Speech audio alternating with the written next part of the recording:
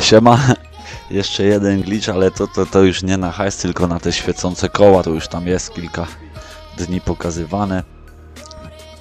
Jeżeli chcecie to robić, to nie na jakimś modowanym ch- autach, żeby nie stracić kół, tylko na jakimś tam zwykłym najlepiej. Wchodzimy w koła terenowe, zaznaczamy sobie 11, znaczy wykupujemy je, przechodzimy na koła, projekt opon, zakładamy ten niestandardowy projekt opon, wracamy z powrotem na te koła terenowe, felgi fabryczne, najeżdżamy na numerek 19, czekamy sobie z 3, 4, 5 sekund i po prostu się wycofujemy. Koła nam świecą, tylko tak ja mówię, no nie róbcie tego na modowanych kołach, bo prędzej czy później te czubki z Rockstara i tak glitcha spaczują, pewnie koła przestaną świecić, więc po co sobie spierdolić jakąś furę terenowymi kołami.